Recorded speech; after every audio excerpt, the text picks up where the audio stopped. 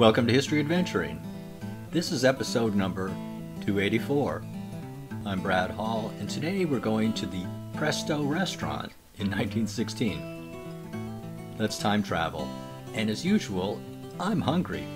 I suggest that we go to Reading, Pennsylvania in 1916 and go to the Presto restaurant.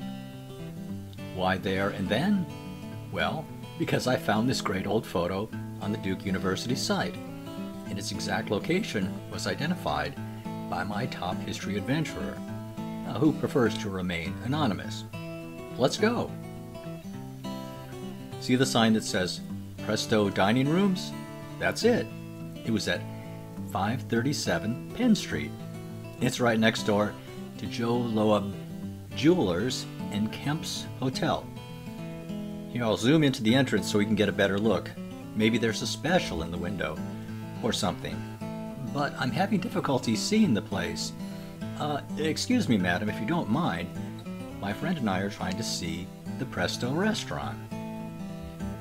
We could also go over to McGowan's or the Crystal, but I have my heart set on the Presto, and those darn kids would probably make too much noise. Well, let's go there when it's safe to cross.